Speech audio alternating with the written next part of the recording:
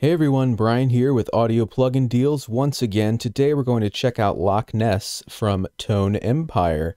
Uh, this is a pretty aggressive uh, plugin labeled a Smashbox.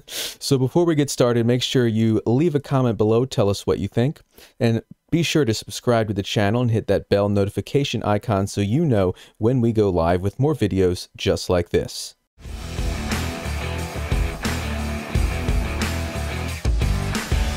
So let's check out Loc-ness. I'm going to use it on some drums, uh, two different styles of drums, one more acoustic rock and then a more electronic trap style drum loop, which I imported from Studio One in the loops over here. If you want to know what it is, it's in the trap section.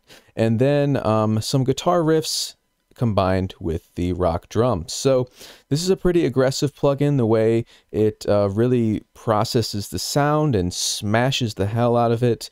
Um, so let's check it out here on the drums. It's going to really going to drastically alter the way these drums sound. So um, it's going to get kind of loud when I turn it up. Just a warning. Let's check it out.